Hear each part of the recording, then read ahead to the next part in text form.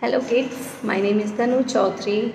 I am from Mathura and I am MSc MCA and basically I am a certified abacus and Vedic maths trainer.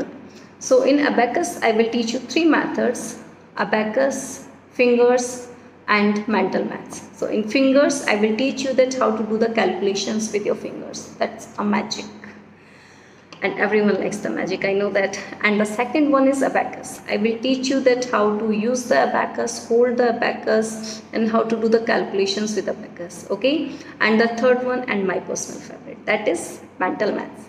Because in mental maths you will not use any pen pencil paper abacus fingers nothing else but only your mind. That's why we called it mind math or mental maths okay? And in vedic maths i will teach you the short tricks the formulas, the sutras, okay?